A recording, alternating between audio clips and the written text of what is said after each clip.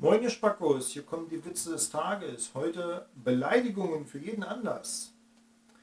Am Ende des Dates, ich hatte einen sehr schönen Abend. Es war nicht dieser, aber ich möchte nicht klagen.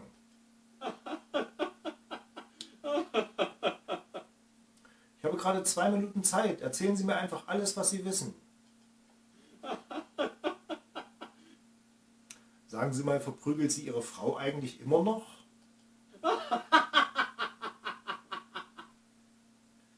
Ihre Mutter kann wieder bei uns putzen kommen. Wir haben das Geld gefunden.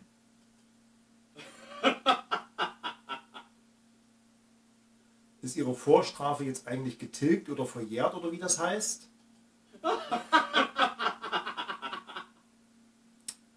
Gibt es jetzt eigentlich ein Mittel gegen Ihre Anfälle?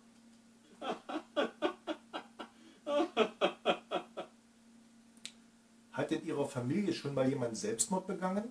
Nein? Wäre das nicht mal eine Überlegung wert?